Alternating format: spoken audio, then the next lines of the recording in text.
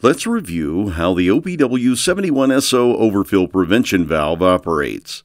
The installer would determine the primary or the final shutoff location in accordance with the local authority having jurisdiction, or AHJ, by utilizing our installation guide or the OPW product guide app. Most trailers can drop almost 400 gallons per minute. As the fuel level rises to the point that it lifts the float arm near the horizontal position, the overfill prevention valve will move to the primary shutoff position, and the driver's drop hose will jump noticeably.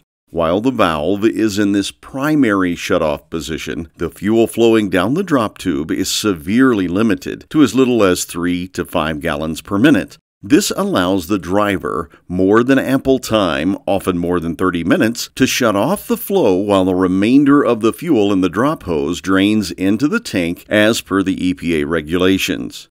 If, however, the driver fails to stop the flow from the trailer, the trickle of fuel being dropped stops completely when the tank has reached the final shutoff position. This prevents the top of the inside of the tank from ever being wetted, another EPA regulation.